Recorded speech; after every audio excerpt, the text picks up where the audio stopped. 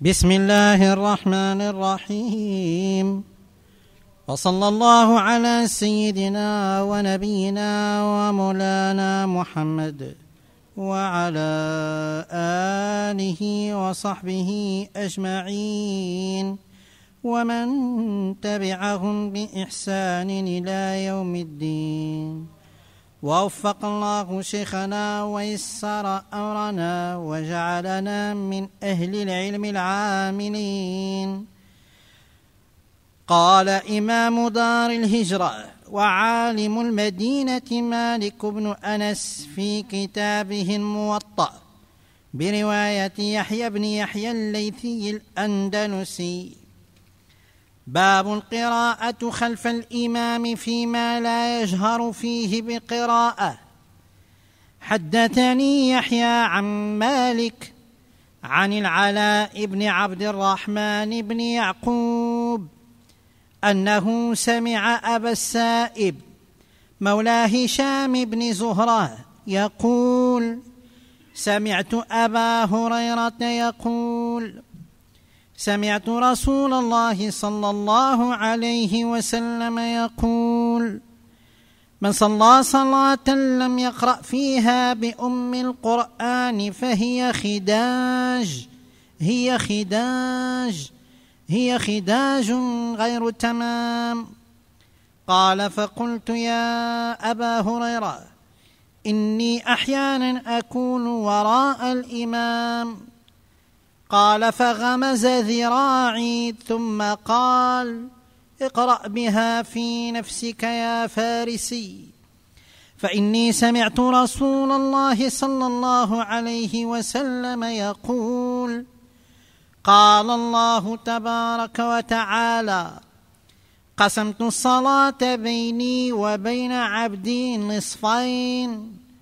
فنصفها لي ونصفها لعبدي ولعبدي ما سأل. قال رسول الله صلى الله عليه وسلم اقرأوا.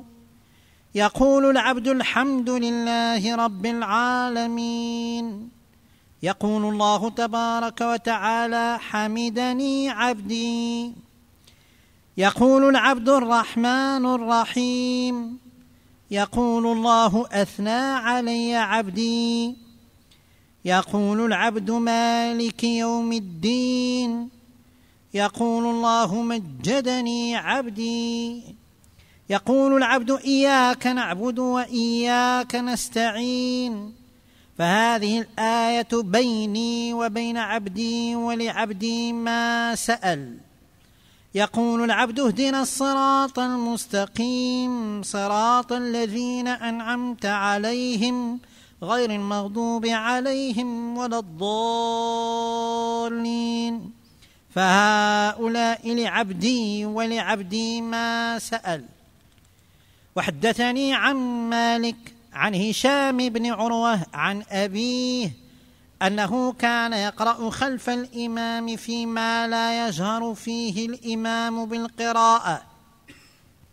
وحدثني عن مالك عن يحيى بن سعيد وعن ربيعة بن أبي عبد الرحمن أن القاسم بن محمد كان يقرأ خلف الإمام فيما لا يجهر فيه الإمام بالقراءة.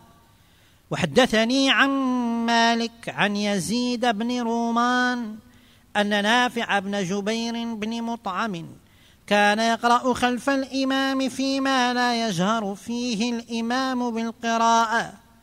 قال مالك وذلك أحب ما سمعت إلي في ذلك. باب ترك القراءة خلف الإمام فيما جهر فيه. حدثني يحيى عن مالك عن نافع أن عبد الله بن عمر كان إذا سئل هل يقرأ أحد خلف الإمام قال إذا صلى أحدكم خلف الإمام فحسبه قراءة الإمام وإذا صلى وحده فليقرأ. قال وكان عبد الله بن عمر بن عمر لا يقرأ خلف الإمام. قال يحيى سمعت مالكا يقول الأمر عندنا أن يقرأ الرجل وراء الإمام فيما لا يجهر فيه الإمام بالقراءة ويترك القراءة فيما يجهر فيه الإمام بالقراءة. وحدثني يحيى عن مالك عن ابن شهاب عن ابن أكيمة الليثي عن أبي هريرة أن رسول الله صلى الله عليه وسلم انصرف من صلاة جهر فيها بالقراءة فقال هل قرأ معي منكم أحد آنفا؟ فقال رجل نعم أنا يا رسول الله. قال فقال رسول الله صلى الله عليه وسلم إني أقول ما لي أنازع القرآن. فانتهى الناس عن القراءة مع رسول الله صلى الله عليه وسلم فيما جهر فيه رسول الله صلى الله عليه وسلم بالقراءة. حين سمعوا ذلك من رسول الله صلى الله عليه وسلم. بسم الله الرحمن الرحيم. الحمد لله رب العالمين والصلاة والسلام على سيدنا محمد وعلى آله وأصحابه وأزواجه أجمعين. أما بعد فإن الإمام مالك رحمه الله تعالى لما ذكر لنا شأن القراءة في الأبواب السابقة وكان مصب الكلام على قراءة الإمام أو المنفرد. فتوجه السؤال ما هو حال المأموم في الصلاة؟ أيقرأ أم لا يقرأ؟ فأجابنا الإمام مالك عن هذا السؤال بأن ذكر هنا بابين متلامزمين وهو الإفصاح عن مذهبه وعن ما اختاره في هذه المسألة. فإن مسألة القراءة خلف الإمام مسألة كثر فيها الآثار والأحاديث. لهذا اختلف الفقهاء في ضبط هذه المسألة على ثلاثة أقوال. القراءة خلف الإمام يعني شأن المأموم في القراءة. وردت فيها أحاديث كثيرة. سواء عن رسول الله أو عن الصحابة أو عن التابعين.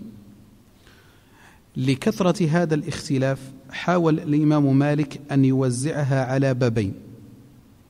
فقال في الباب الأول اقرأ الباب. القراءة خلف الإمام فيما لا يجهر فيه بالقراءة.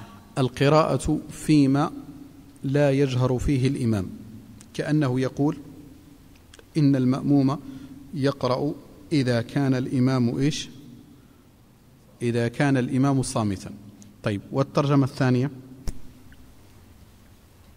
ترك القراءة خلف الإمام فيما جهر فيه. ترك القراءة في الموطن الذي يجهر فيه الإمام. طيب هذا صنيع الإمام مالك في توفيقه بين هذه الأحاديث والآثار التي جاءت في الباب. نؤسس للمسألة بأقوال الفقهاء ثم ننظر كيف تعاملوا مع هذه الأدلة. فنقول اختلف العلماء في مسألة قراءة المأموم في الصلاة على ثلاثة أقوال. فأما القول الأول فهو مذهب السادة الحنفية رحمة الله عليهم وعلى أئمتنا فقالوا لا يقرأ المأموم في صلاته مطلقا سواء في السر أو في الجهر سواء أصر الإمام أو جهر الإمام لا يقرأ المأموم فإن قراءة الإمام مرزئة وكافية, وكافية عن قراءة المأمومين وهذا مذهب. عندنا مذهب آخر يكاد يكاد يعكسه وهو مذهب السادة الشافعية رحمة الله عليه. بالنسبة لمذهب الحنفية قولا واحدا في المذهب. لم يختلف مذهب السادة الحنفية عن هذا ولا توجد لهم رواية أخرى. الإمام الشافعي عنده قوله في القديم وقول في الجديد. الجديد المفتى به هو أنه يجب على المأموم أن يقرأ في الصلاة سواء في الجهر أو في آه، السر ولكن يجب قراءة الفاتحة فقط. واضح مذهب الشافعي؟ يجب على المأموم أن يقرأ سواء أصر إمامه سواء أصر إمامه أو جهر فيجب عليه أن يقرأ الفاتحة. توسط مذهبان. وهو مذهب السادة المالكية ومذهب السادة الحنابلة والقول القديم لمذهب الشافعية رحمة الله على أئمتنا فقالوا يسن القراءة إذا إذا أصر الإمام. ويجب الإنصات إذا جهر الإمام. وهذا المذهب الوسط هو الذي جاء به الإمام مالك على قسمين. إذا أصر الإمام يستحب لك أن تقرأ. أما إذا جهر الإمام فلا يجوز لك أن تقرأ. واضح؟ طيب. هذه الأقوال الثلاثة مروية عن أصحاب رسول الله. فقد اختلف الصحابة رضي الله عنهم على هذه الأقوال. وسبب اختلافهم هو كثرة الأحاديث التي رويت عن رسول الله في هذا الباب. طيب. الآن نبدأ في شرح الأحاديث ونحن نستصحب الآراء الثلاثة. ونقول من أخذ بالحديث ومن أوله وما هو صنيع أئمة المذاهب في هذه المسألة. اقرأ الحديث. حدثني يحيى عن مالك عن العلاء بن عبد الرحمن بن يعقوب أنه سمع أبا السائب مولى هشام بن زهرة يقول سمعت أبا هريرة يقول طيب. سمعت طيب. رسول الله صلى الله عليه وسلم يقول. اللهم صل على محمد. هذا الحديث من طريق أبي هريرة. هذا الحديث أخرجه الجماعة عن مالك ما عدا البخاري وابن ماجه. فهذا الحديث أخرجه عن مالك مسلم وأبو داود والترمذي والنسائي وقبلهم الإمام الشافعي. فهذا الحديث من الناحية الإسنادية لا غبار عليه فهو حديث إيش؟ فهو حديث صحيح. طيب هذا الحديث عن أبي هريرة ضم ثلاثة أمور. حديث مرفوع لرسول الله وفتوى لأبي هريرة وحديث لرسول الله. تفضل. عن أن رسول الله سمعت رسول الله صلى الله عليه وسلم يقول من صلى صلاة لم يقرأ فيها بأم القرآن فهي خداج هي خداج هي خداج غير تمام. طيب قال رسول الله صلى الله عليه وسلم من صلى صلاة لم يقرأ بأم القرآن. في الدرس السابق شرحنا لفظة أم وما المقصود بها أم القرآن. قال فهي خداج ثم كررها ثلاث. الخداج في لغة العرب كما يقول آه، اللغويون الخج هو أن ترمي الناقة ولدها من غير إتمام. فتقول خدجت وأخدجت من غير إتمام مثل ما نقول السقط بالنسبة للمرأة. فإذا ألقت الناقة ولدها دما غير كامل فتسمى خدجت وأخدجت. فقال رسول الله إن الصلاة إذا لم يقرأوا فيها بفاحتحة الكتاب فهي إيش؟ فهي خداج أي ناقصة. ثم أكد النبي صلى الله عليه وسلم بعدما ذكرها ثلاثة فهي خداج فهي خداج فهي خداج قال فهي فهي غير تمام. انظر النبي صلى الله عليه وسلم عبر بالنفي وعبر بالإثبات فهي خداج يعني ناقصة. ثم قال غير تمام. فهذه قوة عبارة في التشدد في قراءة سورة الفاتحة.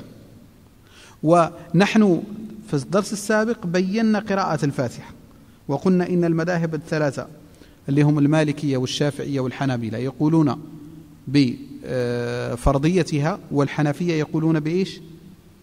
بوجوبها. والخلاف قلنا هو خلاف بسيط.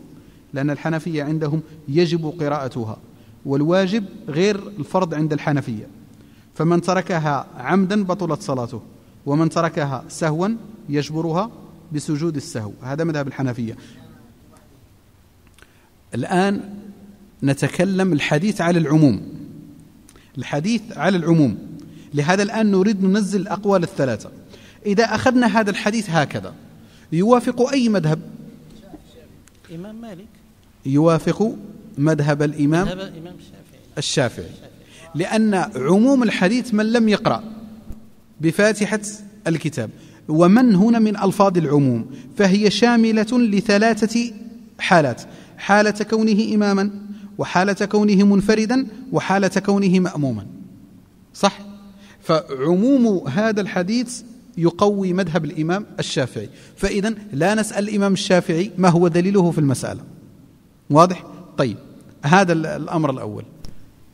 واصل. من صلى صلاة لم يقرأ فيها بأم القرآن فهي خداج هي خداج هي خداج غير تمام.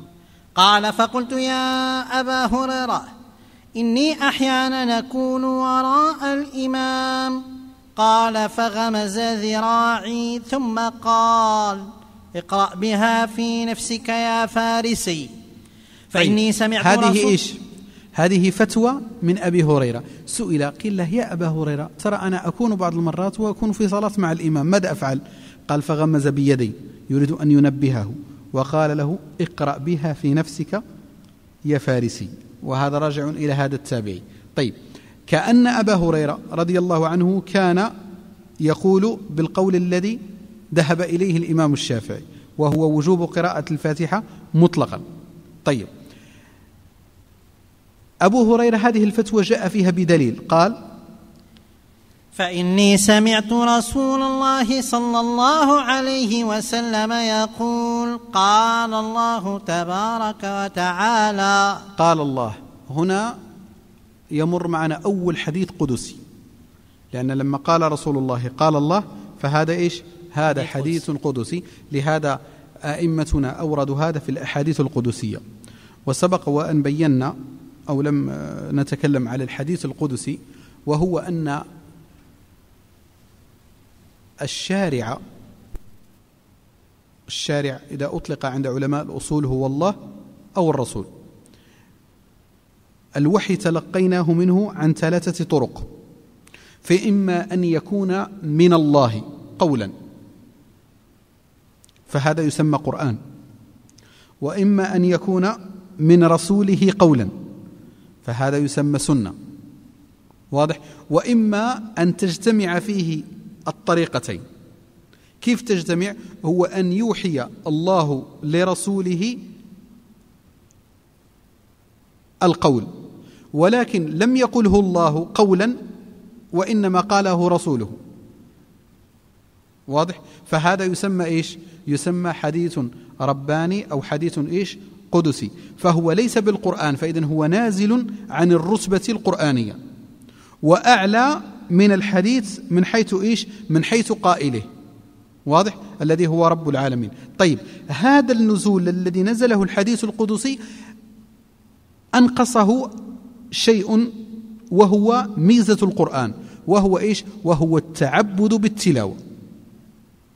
القرآن إذا قرأت كل حرف لك إيش؟ عشرة ويجوز الصلاة به. لكن الحديث القدسي إذا قرأته ليس لك بكل حرف عشرة ولا يجوز أن تقرأ به في إيش؟ في الصلاة. لهذا القرآن لابد أن يكون عن طريق جبريل. القرآن عن طريق جبريل. لكن الحديث القدسي قد يكون في المنام وقد يكون إلهام. واضح؟ لهذا لم يأتي فيه بتعبير الله. بخلاف القرآن فإنه قول الله عز وجل كذلك. واضح؟ طيب. هنا عندنا حديث قدسي. النبي صلى الله عليه وسلم يقول قال الله قال رسول الله صلى الله عليه وسلم فإني سمعت رسول الله صلى الله عليه وسلم يقول قال الله تبارك وتعالى قسمت الصلاة بيني وبين عبدي نصفين فنصفها لي ونصفها لعبدي ولعبدي ما سأل. قال رسول الله صلى الله عليه وسلم اقرأوا. يقول العبد الحمد لله رب العالمين. أمن الآن يقول الله تعالى قسمت الصلاة بيني وبين عبدي. قسمت الصلاة. المتبادر بأن لفظ الصلاة هنا لفظ شرعي وهي الهيئة المعهودة من ركوع وسجود وقراءة. لكن قال النبي صلى الله عليه وسلم اقرأوا. يقول العبد الحمد لله رب العالمين. فإذا مقصود الله في قسمت الصلاة إيش؟ الفاتحة. الفاتحة. قال الله تعالى قسمت الصلاة بيني وبين عبدي. لما قال قسمت الصلاة ماذا فهمنا؟ بما أن الصلاة لفظ شرعي أقيموا الصلاة. يعني هي الصلاة ذات الركوع والسجود والقراءة. لكن النبي صلى الله عليه وسلم قال يقول العبد الحمد لله رب العالمين. فإذا مقصود النبي صلى الله عليه وسلم الصلاة هي الفاتحة. فإذا عبر عن الفاتحة بلفظ الصلاة. طيب هل هذا التعبير تعبير حقيقي أو تعبير مجازي؟ ذهب بعض الفقهاء إلى أنه تعبير حقيقي وأن الفاتحة تسمى الصلاة. لهذا من, من ألف في كتب علوم القرآن تجدون كالإمام السيوطي والزركشي ذكروا من أسماء الفاتحة الصلاة. فالفاتحة تسمى إيش؟ تسمى صلاة. فتقول قرأت سورة الصلاة. بدليل أن النبي صلى الله عليه وسلم أو الله سبحانه وتعالى سماها إيش؟ سماها الصلاة هذا إذا قلنا هنا اللفظ حقيقة. أما إذا قلنا اللفظ مجاز وهو ذهب إليه كذلك جمع من العلماء وهو أن عبر عن ذلك من باب التغليب. إن قرآن الفجر كان مشهودا. اتفق المفسرون أن قرآن الفجر هنا هو إيش؟ هو صلاة الصبح. وكان مشهودا تشهده ملائكة الليل وملائكة النهار. واضح؟ لكن لما كان الغالب في الصلاة القراءة سميت الصلاة كلها إيش؟ قراءة. إن قرآن الفجر كان مشهودا. كقول النبي صلى الله عليه وسلم الحج عرفة. واضح؟ من باب التغليب لأن أهم ركن فيه هو إيش؟ هو عرفة. فكذلك هنا أن الله سبحانه وتعالى سمى الفاتحة صلاة لأنها الغالبة في في الصلاة. واضح؟ طيب. قال قسمت الصلاة بيني وبين عبدي. هذا حديث يدل على قيمة الصلاة عند رب العالمين. ويدل على مدى تكرم رب العالمين على العبد. هنا ذكر قال قسمت الصلاة بيني وبين عبدي ولم يقل بيني وبين المصلي ولم يقل بيني وبين إيش؟ المسلم. لأن لفظ العبودية هو شرف. لهذا إذا تتبعت القرآن تجد أن مواطن الشرف يعبر فيها بالعبودية. وأنه لما قام عبد الله يدعوه. يدعوهم شرف الدعوة.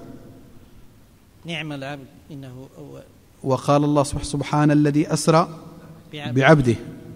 الحمد لله الذي أنزل على عبده. فدائما في آه، مواطن الشرف ينسب إيش؟ ينسب إلى العبودية. لأنك أنت ما خلقت إلا من أجلها وما خلقت الإنس والجن إلا ليعبدون. فكمالك في ذلك. فإذا نقصت عن ذلك فإذا خرجت عن ماهية أو الوظيفة التي إيش؟ التي خلقت من أجلها. فلهذا هنا جاء بهذا اللفظ وقال قسمت الصلاة بيني وبين عبدي. بدأ بنفسه لأنه هو واجد الوجود. ولكن ذكر العبد هنا محض منة من الله عليه فقال قال رسول الله صلى الله عليه وسلم اقرأوا. يقول العبد الحمد لله رب العالمين.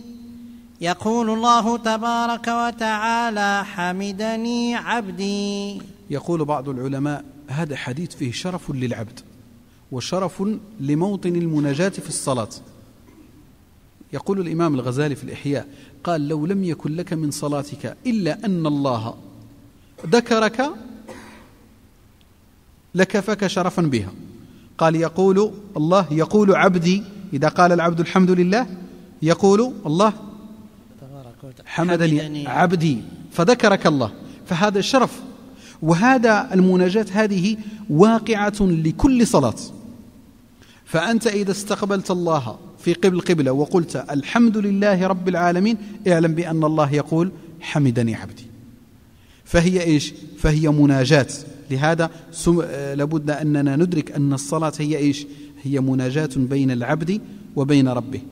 وهي أن والمناجاة هي الإصرار أو الكلام الخفي الدائر بين شخصين اثنين. فإذا قال العبد فإذا قال العبد أيوه. الحمد لله رب العالمين. يقول العبد الحمد لله رب العالمين. يقول الله تبارك وتعالى حمدني عبدي. هذه واحدة. حمدني عبدي وقلنا الحمد هو بلوغ الثناء كاملا. قمة الثناء. نعم. يقول العبد الرحمن الرحيم. يقول الله أثنى علي عبدي. لما يقول الحمد الرحمن الرحيم أثنى علي عبدي. انظر وقع حمد اولا ثم أعقبه إيش؟ ثناء. عقبه ثناء. والثناء وهو ذكر صفات الجلال والجمال. وهو أنك لما قلت الحمد لله وهو أن الله مستحق كل هذا للمحامد كلها. تنتج عنه إيش؟ تنتج عنه رهبة منه لأن لأنه كامل في صفاته. فاحتيج هنا إلى إيش؟ إلى صفات إيش؟ إلى صفات تلين ما يؤثر في العبد من رحبه الله. فقال الرحمن الرحيم. واضح؟ والرحمن والرحيم هما صفتان من صفات الله. وإن كان الرحيم الرحمن أقوى من صفة الرحيم في المعنى. لأن الرحيم قد يوصف بها أي شخص لكن الرحمن لم يوصف بها إلا الله. قل ادعوا الله وادعوا الرحمن, الرحمن. لهذا اعترض المشركون على رسول الله. قالوا ما ندري وما الرحمن؟ وما الرحمن. قالوا وما الرحمن. واضح؟ فلهذا لم يتسمى بالرحمن إلا الله. والرحيم قد يوجد معه. والفرق بينهما أن الرحمن يختص عادة يوم القيامة. فإن يوم القيامة ينفرد سبحانه وتعالى بهذه الصفة وهي الرحمن. لهذا أعقبها بالقول الثالث وهو يقول العبد مالك يوم الدين يقول الله مجدني عبدي.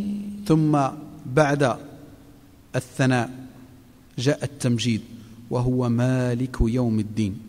ويوم الدين يعني يوم الجزاء. وخص الملك بيوم الجزاء وإن كان الله يملك حتى الدنيا لأن الدنيا قد يوجد فيها من يدعي الملك. وأما يوم الدين فسوف ينفرد الله بذلك. فخص بذلك. طيب واصل. يقول العبد ملك يوم الدين يقول الله مجدني عبدي يقول العبد إياك نعبد وإياك نستعين. فهذه الآية بيني وبين عبدي ولعبدي ما سأل. طيب قلنا الفاتحة قسمها الله على ثلاثة شطر لله وشطر للعبد وشطر اقتسمه الله وعبده. طيب هذا الشرط الذي هو الوسط هو قول الله سبحانه وتعالى إيش؟ إياك نعبد وإياك نستعين. يقول الحافظ ابن القيم رحمة الله عليه إن السماء كتب السماوات كلها جمعت في القرآن. والقرآن كله جمع في الفاتحة والفاتحة كلها جمعت في هذه اللفظة. إياك نعبد وإياك نستعين. طيب كيف هي مقسومة بين الله وبين عبده؟ إياك نعبد إخلاص العبادة لك. ولم يقل نعبدك قال إياك نعبد. ثم كوننا نحن نعبدك أنت ولا نعبد سواك ولا نتوجه إلى غيرك نحتاج إلى إيش؟ نحتاج إلى إعانة. ف وإياك إيش؟ نستعين على عبادتك. طيب هذه بين الله وبين إيش؟ وبين عبده. ولكن إذا حققت فيها النظر وجدتها كلها لله. كلها لله. لأن هو المحق بأن يعبد وهو الذي وفقك إلى أن تعبد. فهي لله. ولكن تكرم الله علينا بذلك. واضح؟ طيب واصله يقول العبد اهدنا الصراط المستقيم صراط الذين أنعمت عليهم غير المغضوب عليهم ولا الضالين. فهؤلاء لعبدي ولعبدي ما سأل. فهؤلاء لعبدي. هنا جاء قسمك أنت. وهو إيش؟ وهو الدعاء. لأن الدعاء هو العبادة. اهدنا الصراط المستقيم.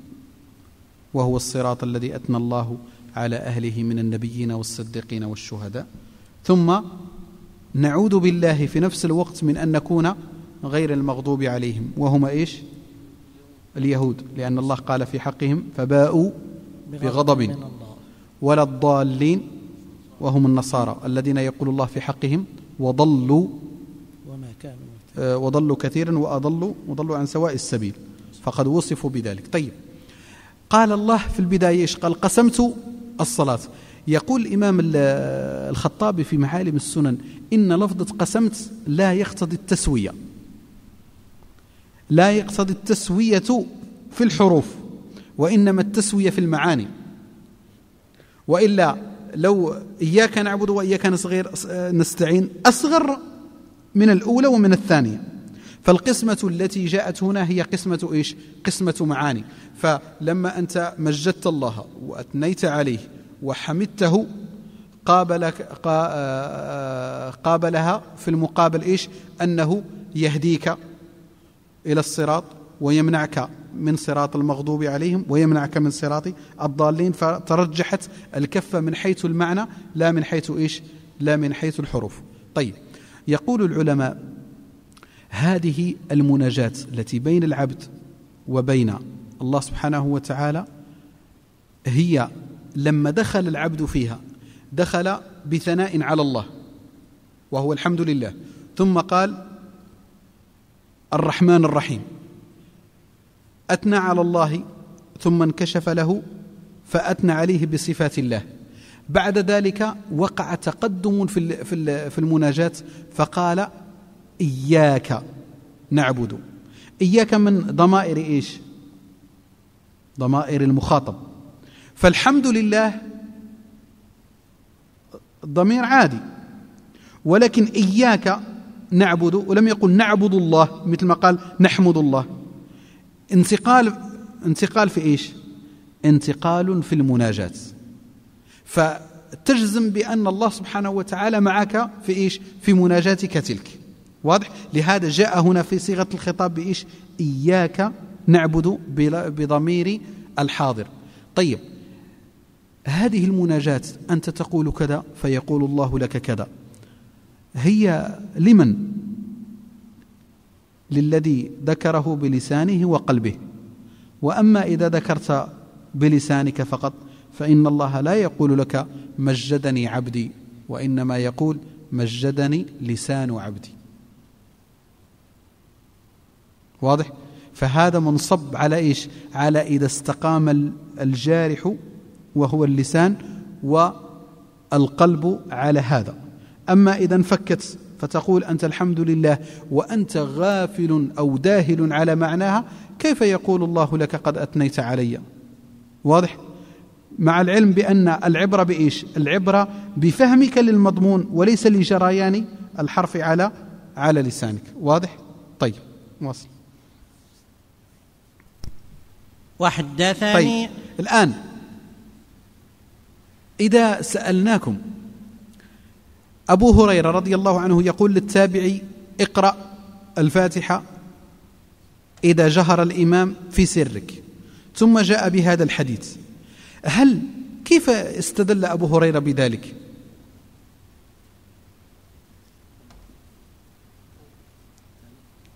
أبو هريرة لماذا ساق هذا الحديث؟ الآن أبو هريرة جاب حديث آخر. من لم يقرأ بفاتحة الكتاب فهي خداج صح؟ طيب قيل له طيب وإذا كان الإمام يقرأ؟ فجاء بهذا الحديث آخر. اقرأها. قال اقرأها في نفسك. طيب لكن لا تضيع قراءته. لا تضيع؟ لا تضيع قراءته فإني سمعت. إيه؟ لا تفوت. طيب كونك لا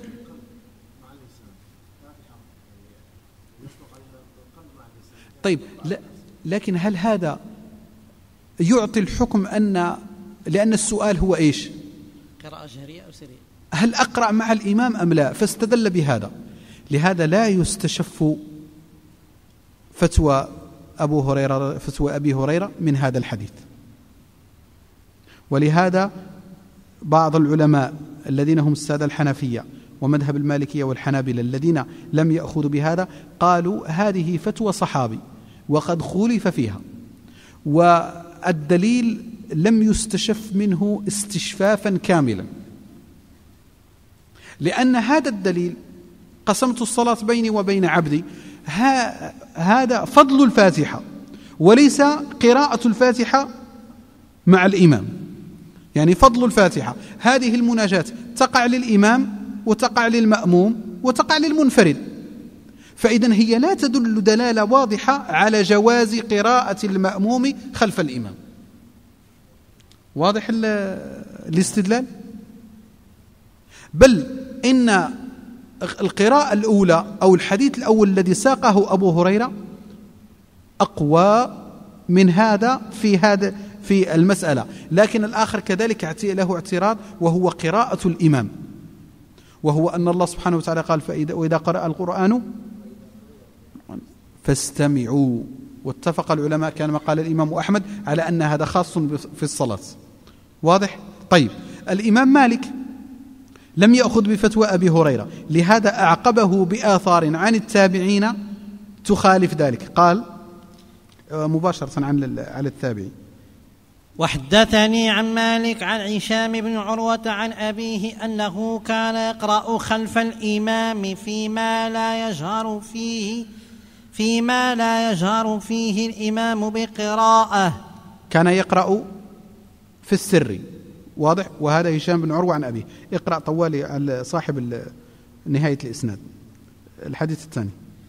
وحدثني عن مالك عن يحيى بن سعيد وعن ربيعة بن أبي عبد الرحمن أن القاسم بن محمد كان يقرأ خلف الإمام فيما لا يجهر فيه الإمام بقراءة.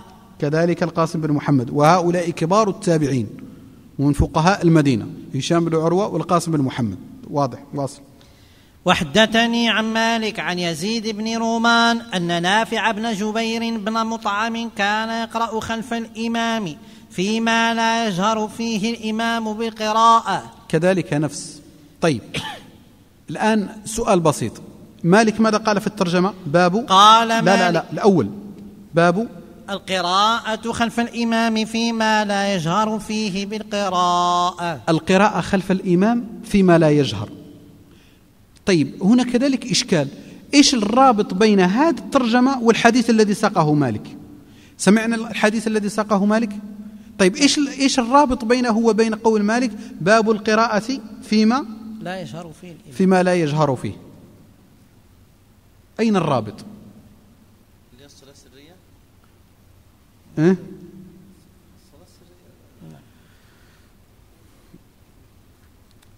الإمام الباجي يقول لا الآن مالك قال باب القراءة فيما لم يجهر الإمام. إذا لم يجهر الإمام اقرأ. يعني باب القراءة في سر الإمام. طيب هذا الباب هذه الترجمة ماذا يدل عليها من هذا الحديث كله؟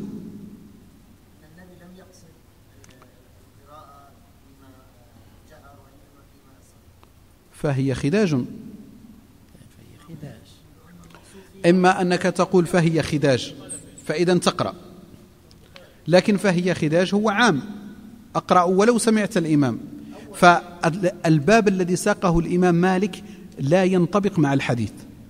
وإنما ساقه من باب إيش؟ من باب التبيين على أن المسألة فيها أحاديث يظاهرها التعارض. فهو جاء باب فهي خداج فهي خداج. هذا دليل على أنك تقرأ. لكن لا تقرأ في السر الإمام فقط تقرأ حتى في جهره لأنها عامة.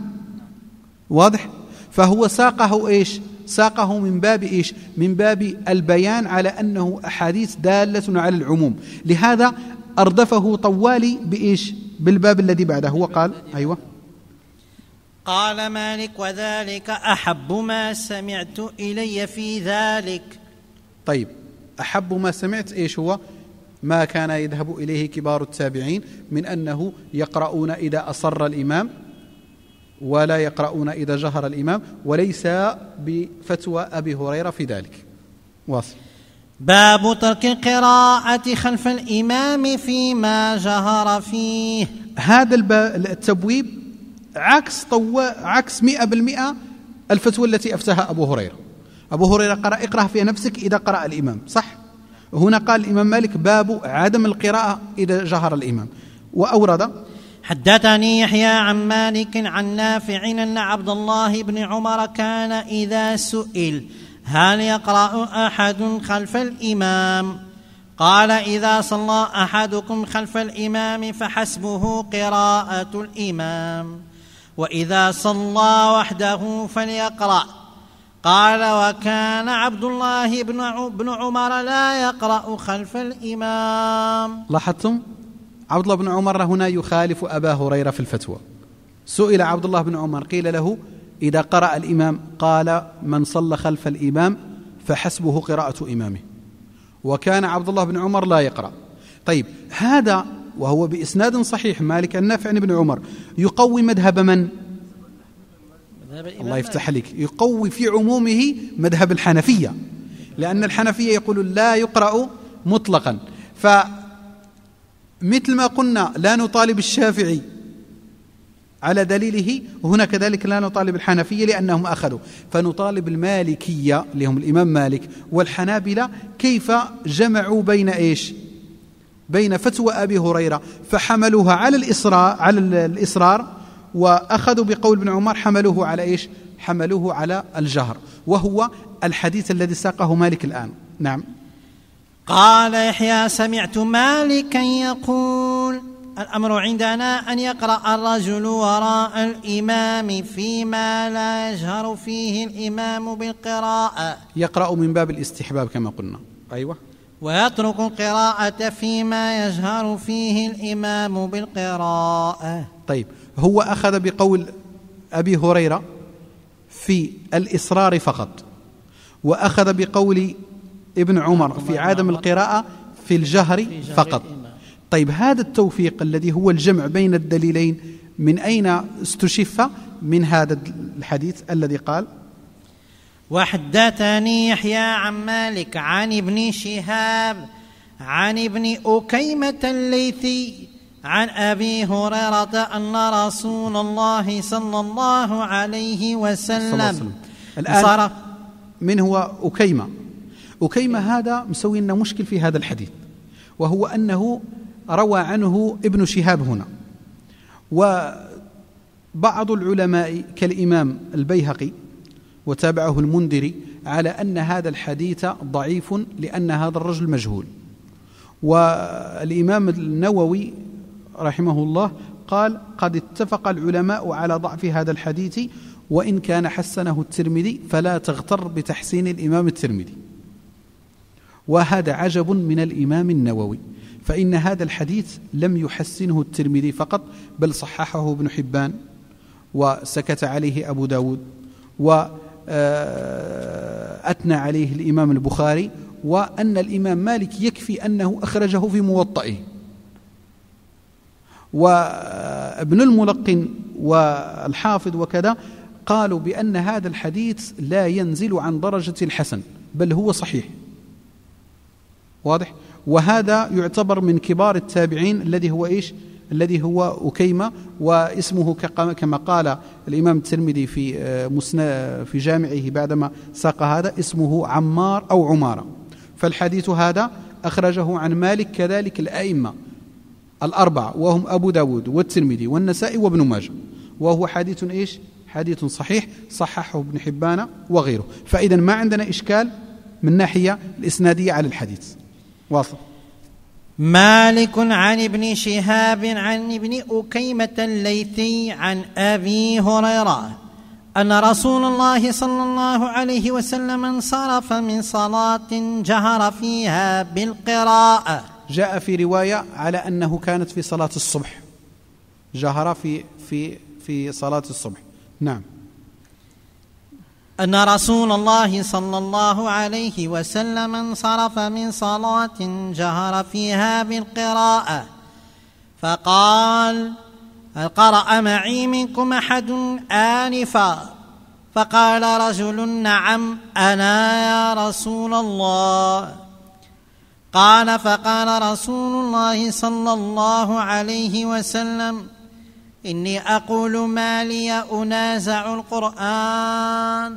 طيب هذا الحديث ساقه أبو هريرة الذي أفتى بالفتوى الأولى وهو أن النبي قال انصرف النبي صلى الله عليه وسلم من صلاة جهرية فقال هل قرأ معي أحد؟ فقال رجل أنا. فقال رسول الله فإني أقول ما لي أنازع القرآن. هذا اللفظ الذي ساقه رسول الله هو لفظ, إيش؟ لفظ عتاب. ولكن ساقه بسياق إيش؟ بسياق الذي يقوله العلماء بسياق الإثبات في النفي. كما يقول المظلوم ما لي, ما لي يؤخذ حقي. ما لي يؤخذ حقي. هذا إيش؟ يعني هو الحق لي وهو يستغرب لماذا أخذ حقي. فلهذا رسول الله قال فإن أقول ما لي أنازع القرآن كأنني أنا الذي أحق بالقراءة لأنني أنا إمام. فبهذا تستشف بأن الصحابة كانوا يقرؤون خلف رسول الله أم لا؟ لم يكونوا يقرأوا بدليل أنه هو واحد فقط الذي قرأ. الذي قرأ قال من الذي قرأ؟ من قال رفع صوته قرأ قال أنا الذي قرأت. فدليل على أن الصحابة لم يكونوا يقرأوا خلف رسول الله. واضح؟ والذي يقوي هذا اقرأ نهاية الحديث. فقال رسول الله صلى الله عليه وسلم إني أقول ما لي أنازع القرآن. فانتهى الناس عن القراءة مع رسول الله صلى الله عليه وسلم. فانتهى الناس عن القراءة. لم يقل فانتهى الناس عن رفع أصواتهم. فانتهى الناس عن القراءة. لا ما واضح الحديث بأنهم ما كانوا يقرأوا. لهذا فانتهى الناس يختلف فيه المحدثين. هو قول من؟ لا هنا في الحديث. فانتهى الناس عن القراءة. لا لا في الحديث هذا. خليكم في الحديث. اقرأ بسرعة الحديث. لا لا لا لا عن أبي هريرة اسمع اسمع. عن أبي هريرة أن رسول الله صلى الله عليه وسلم انصرف من صلاة جار فيها بالقراءه فقال هل قرأ معي منكم أحد آنفا؟ فقال رجل نعم أنا يا رسول الله. قال فقال رسول الله صلى الله عليه وسلم إني أقول ما لي أنازع القرآن. فانتهى الناس عن القراءة مع رسول الله صلى الله عليه وسلم فيما جهر فيه رسول الله صلى الله عليه وسلم فانتهى الناس عن القراءة فيما جهر به النبي صلى الله عليه وسلم من القراءة. قول من هذا؟ ابن أيوة اختلف العلماء في ذلك وإن كان يقول ابن الملقن اتفق العلماء الأوائل على أن هذا من قول ابن شهاب مدرج هذا مدرج لماذا؟ لأنه لا يستقيم أن تقول أنه قاله أبو هريرة وهو في البداية أفتى الرجل بأن يقرأ في السر واضح؟ فلهذا حملوا هذا على قول مين؟ على قول ابن شهاب وإن كان ابن القيم رحمة الله عليه مال إلى أنه قول على إلى أنه قول أبي, أبي هريرة. ولكن الصحيح ما قاله الإمام البخاري. فهذا قول الإمام البخاري. لأن هذا الحديث أخرجه الإمام البخاري في في خلق القرآن في كتاب خلق القرآن. وقال هذا قول ابن شهاب. واضح؟ لأن في رواية الأوزاعي لم يروي عن ابن شهاب القول الذي قاله هذا القول الذي نسب إلى أبي هريرة. طيب يتضح من هنا على أن المالكية والحنابلة وفقوا بين الحديثين.